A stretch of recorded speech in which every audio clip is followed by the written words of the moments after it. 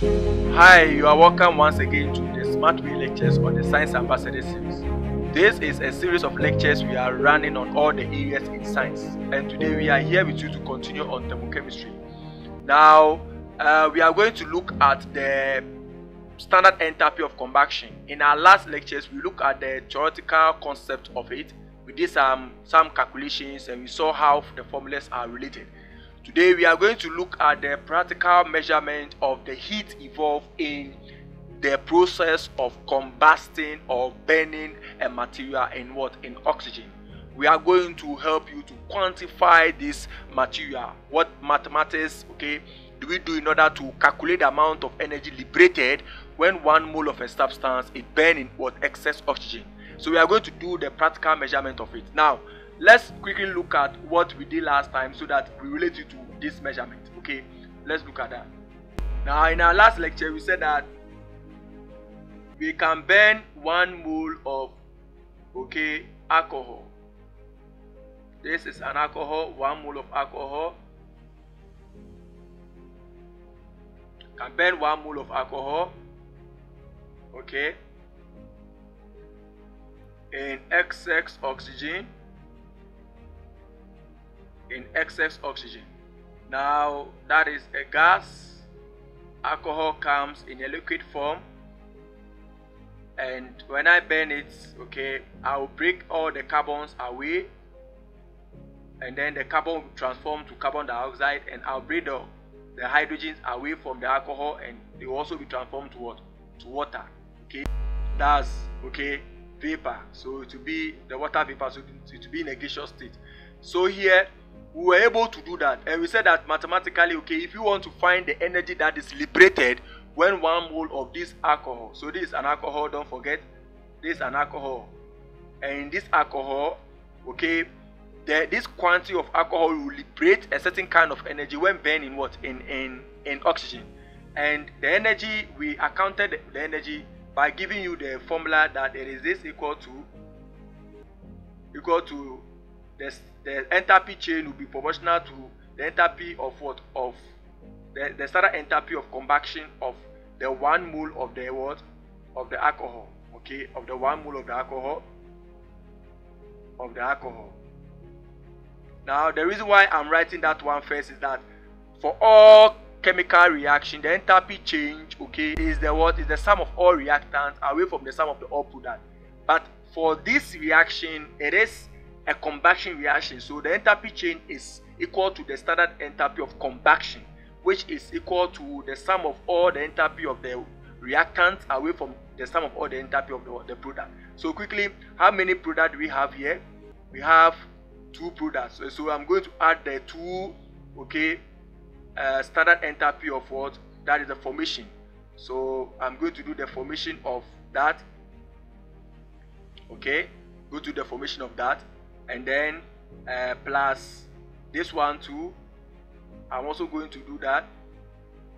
Formation of that. Formation of that. Sorry. So standard enthalpy of formation standard enthalpy the symbol must come. Formation of what? Of water. Standard enthalpy of formation of water. Water.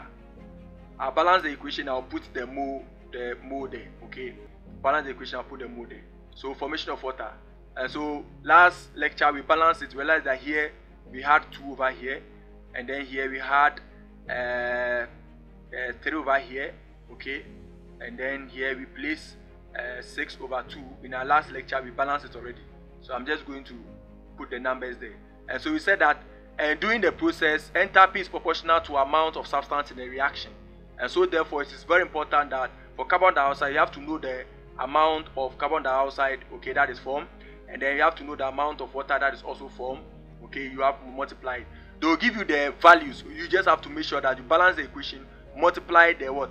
The values by the formations okay of the reactant and the product. And then you quickly take it away from the sum of the enthalpy of all the what? The reactant. Here is the reactant. And so the of the sum of the enthalpy of formation of the reactant which is this. Okay that is 5 O okay and then plus the sum of the enthalpy. Okay the standard enthalpy of formation of what?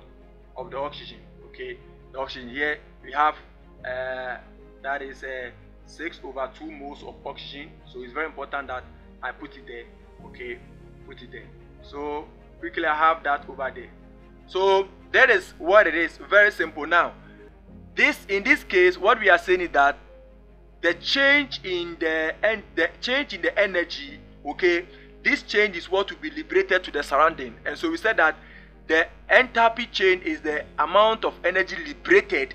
And the amount of energy liberated okay after burning the substance okay is the difference between the reactant and the product. Now we are saying that we are going to quantify this energy. Now this is what you do. The one mole of the ethanol which has a mass of 46 grams okay is used as a fuel and it is burned okay it is burned, okay it is burned completely. And during the process of burning the the 46 grams okay what basically happened that it will what? It will give off heat and this heat will be trapped by the water. The heat here will be trapped by the water. So you can see the here we have water that is sitting on top of the fire over here. We have water here that is sitting on top of the fire. This is a water in the beaker. Okay this water in the beaker and it has been covered. And this is a thermometer inside. So all what you do is that what? You put the water in the beaker you put the thermometer inside and then you what? Place it over the burning what? Uh, uh, ethanol over the burning ethanol and you wait for all the mass for all the uh, the the mass to be burned completely okay? You wait for all the mass to be burned completely. And this heat will raise the temperature of the ethanol it, sorry to raise the temperature of the water inside there now this is done in a what? In a closed system where the heat is not lost to the surrounding. So it is assumed that the heat that is uh, that is coming from the fuel that is, is coming from the ethanol okay from the burning ethanol is all transferred to the what to the water okay it's all transferred to the water that to, to boil the water okay. So and then the change in the temperature of the water is now what is used to calculate the energy that what that comes out whilst the the, the ethanol was burning in what in oxygen. Remember that the atmosphere has oxygen and then the, this is the ethanol and so you are burning the ethanol in the presence of what? The excess oxygen in the atmosphere. And for one mole all these ethanol must be used uh, okay for the energy okay coming out to heat the water. Now the change in the temperature of the water is now what we use to what? To calculate that.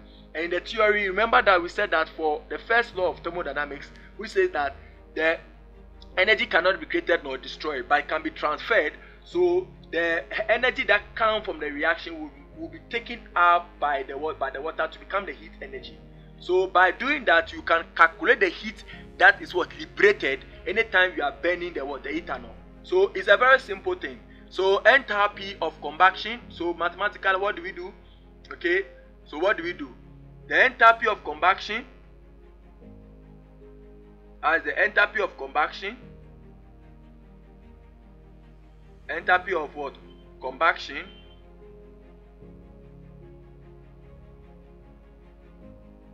So mathematical will the enthalpy of what? Of combustion.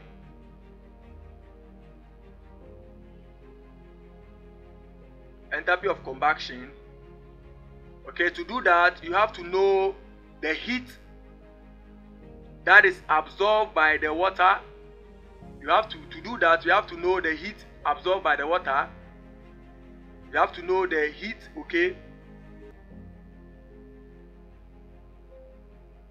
absorbed or gained by the water, the heat absorbed by the water, absorbed by by the water, okay, on top of the burning ethanol, okay, and you divide it by the quantity, you divide by the quantity of the ethanol that is burned. This time we are burning one mole of the ethanol. We are burning one mole of the ethanol. So that is what we, we do, one mole of the ethanol. That is the alcohol. So you just the, the enthalpy of combustion is the heat absorbed by the water divided by what? By the one mole of the what? Of the ethanol. So quickly, let's look at that. Now, in our theory in our second video we explained that the heat loss from a reaction the heat loss from a reaction is always equal to the heat gain by other systems or reactant or product so heat loss is equal to heat gain. Since the first law of thermodynamics says that energy can neither be created nor destroyed we don't add or subtract heat from a reaction but rather it is rather transformed from one form to, to, to what? To another. And so here you can see that the heat that will be liberated by the burning of the ethanol okay is the same amount of heat that will be absorbed by the water. And so by knowing the mathematical relation you can find the heat that will be absorbed by the water. And so the heat lost by the ethanol okay during the process of burning will be equal to the heat gained by the ethanol. Now this is a very simple thing. I am burning ethanol and the heat coming out from the ethanol i'm using it to what? To heat up water. So the heat coming from the ethanol will be proportional to the heat taken by the by the water and so and we did that that to calculate the heat to calculate the heat of a reaction the quantity of heat of a reaction okay?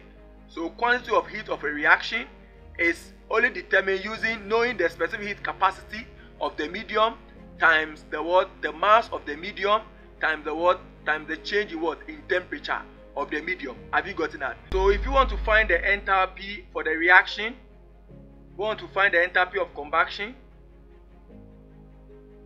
enthalpy of what? Of combustion we want to find the enthalpy of combustion of the ethanol. Then I have to just find the amount of heat absorbed that is heat the heat that is absorbed or gained by the water during the burning of the ethanol. So the heat gained by the water the heat was gained by the water. Heat was gained by water. All over the quantity or the mole of the ethanol burn the mole of the ethanol. Mole of what? Mole of ethanol. Have you gotten that? And now we know the heat ethanol so to calculate the heat gain by the what? By the water you you just use this what? Equation. Uh, you be given the specific heat capacity of the what? Of the water and then you multiply it times the mass of the water that is absorbing the what? The heat coming out from the burning and then the change in temperature of the water. That is before the the heating of the water and after the heating of the water. Okay? So that you do that so you are going to get a change in temperature then divide by the what? The mole of the ethanol so you divide by the mole of the ethanol divide by the mole okay? So you divide by the mole of the ethanol so it is a very simple thing. So in the process of burning once again when you burn the one mole of ethanol completely in excess oxygen it will liberate or give off heat to the surrounding. The heat here will be used to heat up water. So assuming that there's no heat loss to the surrounding the quantity of heat that will come out okay that that will be liberated whilst burning the fuel inside will be proportional to the heat that will be gained by the water. And so therefore if i know the heat gained by the water then i can then divide it by the quantity of the ethanol that is burned. In that case i'm getting the what enthalpy. And so you realize that the unit for enthalpy is what? Is joules okay per mole okay is joules per mole is joules per mole or if you want you can also do it in kilojoules per mole so that is it. So the heat over the amount of substance that is burned.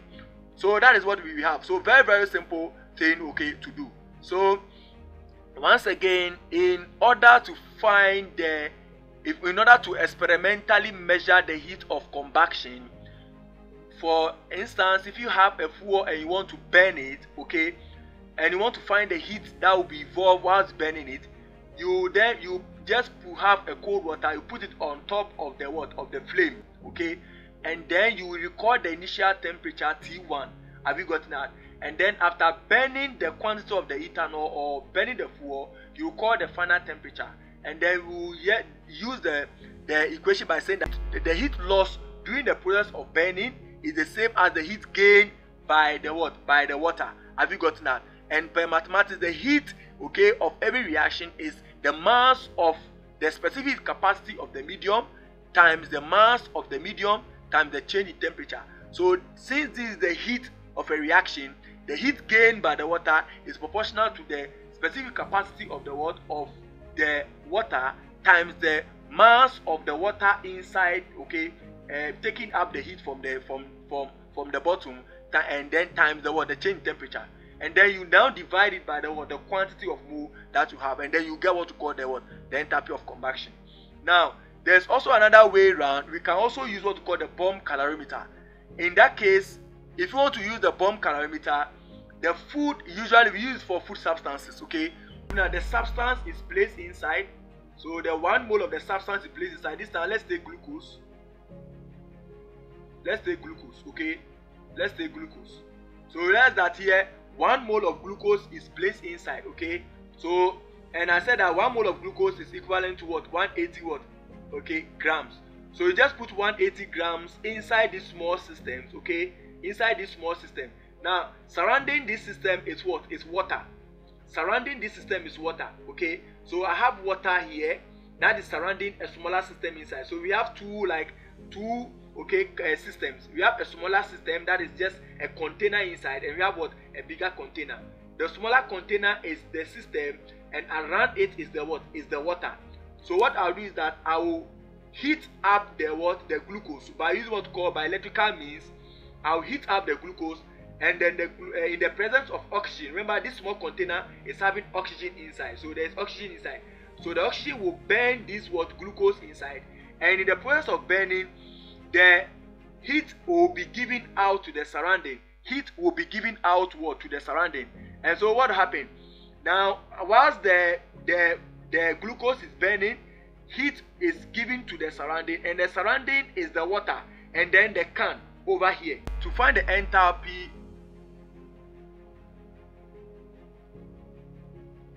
to find the enthalpy of combustion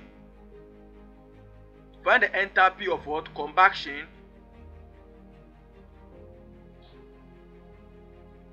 find the enthalpy of combustion uh, whilst we are burning you see whilst we are burning the food substance inside it is giving off heat. The heat is taken by the surrounding water and also the the what? The can.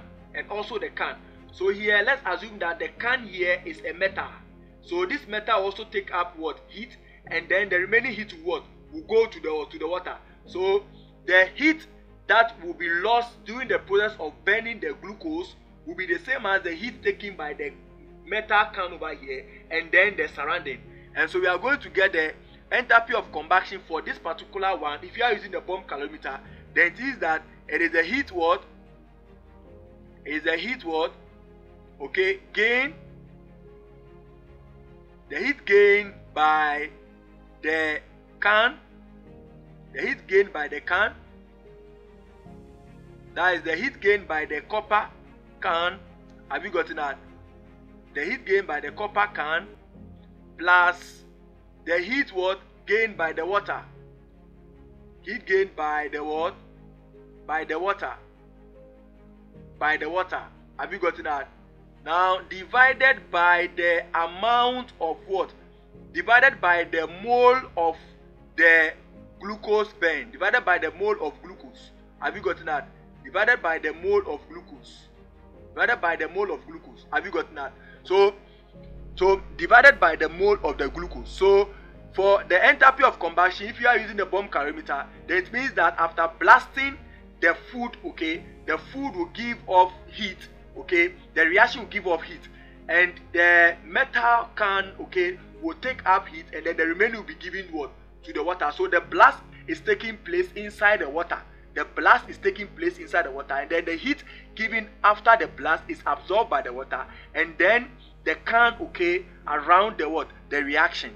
And so if you add the heat taken by the water plus the heat okay taken by the can then and you divide it by the mole of the substance blasted then it means that you can find the enthalpy of combustion so this is how the bomb calorimeter work okay? And in mathematics i just as i told you that you just have to find the specific capacity of the copper okay times the mass of the copper surrounding the food times the mass of the copper or times the what the change what in temperature and then you add it to what to the heat of the water so the mass of the water that's the specific capacity of the water times the mass of the what of the water times the change in temperature of the what of the water have you gotten that all divided by the mole of subs uh, the mole of the glucose burn so one mole of glucose that is a mole of glucose by mole of what?